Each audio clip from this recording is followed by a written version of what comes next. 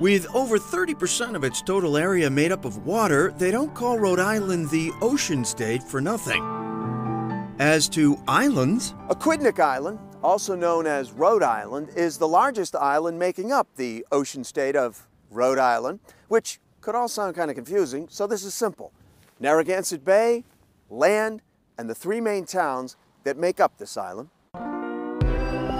From north to south, Aquidneck's three main towns are Portsmouth, Middletown, and Newport. Our first stop, Portsmouth, where I was intrigued to try something unique and new riding the rails under my own power. Describe it, uh, you know, say it's this crazy vehicle that you pedal along the railroad tracks and, and you've lost them. But as soon as they see a picture, they get it in a second. Native Australians and transplanted New Yorkers Alex Catchpoole and his wife, Mary Joy Liu, are the creators of Rail Explorers. The vehicle itself was first invented and popularized in South Korea.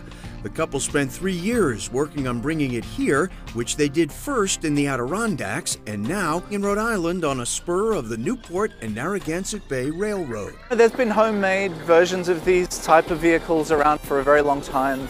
But this is really the first time a beautifully engineered, uh, Right. fun to ride, great to look at. It's very bicycle-like. really anyone can do it. We're on 450 pounds of steel, and yet it's effortless pedaling. It is. It's also an experience pedaling along train tracks that is entirely new for most of us. And usually on a train, you're looking through a window, whereas here on one of these, you're in it, and you're really a part of the environment. It's really sensory. It's a six mile tour along Narragansett Bay, water views, and a feeling of seeing something familiar, but in a new way. We go through some areas of the island that even long-time locals have never seen, uh, have never accessed in this way. The vehicles can be linked up for families and can be accessed for all abilities too. Families who have members in wheelchairs are able to come here and there is no difference in experience and we're passionate about that. The response so far in Rhode Island has been enthusiastic, which is no surprise. If I could have, I might have kept going all day. You know, you can smell the ocean, you can hear the waves crashing. It's really a spectacular way to do it. Further south in Newport on a cool spring night, most of the boats were still wrapped up, but plenty of visitors eager to get a jump on summer. We're out and about.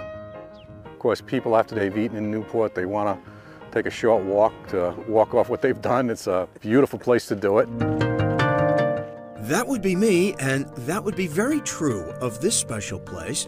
Located just a few miles from Newport in Middletown, Rhode Island, it's Sachuest Point National Wildlife Refuge, surely one of Aquidneck Island's hidden gems. We protect and preserve wildlife for future generations. We're very light recreation oriented, so uh, we just try and interpret what we're doing here, what the biologists are doing preserving the wildlife. The refuge covers 224 acres of a major migratory route that includes the colorful harlequin duck and in winter, the snowy owl.